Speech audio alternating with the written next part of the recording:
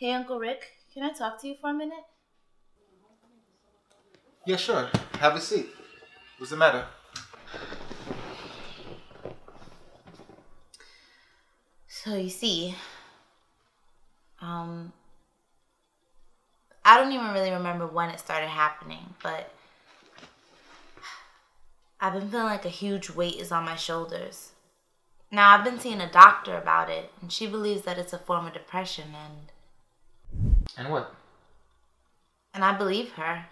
I haven't been feeling like myself. I'm extremely unhappy. I mean, I've always been a happy person for the most part, especially in college.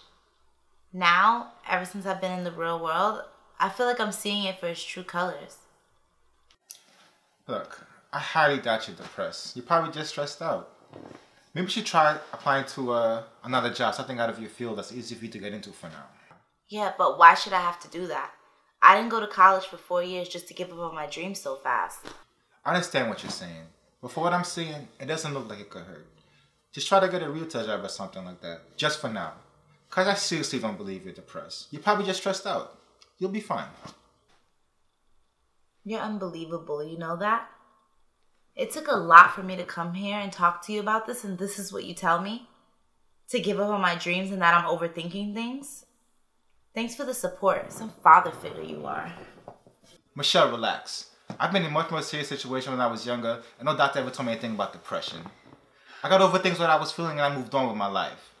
All these doctors want to do is just diagnose you with some condition and take your money. That's all. Now, I don't want to hear any more about this from you. You hear me? Forget I even told you anything. I don't even know why I bothered.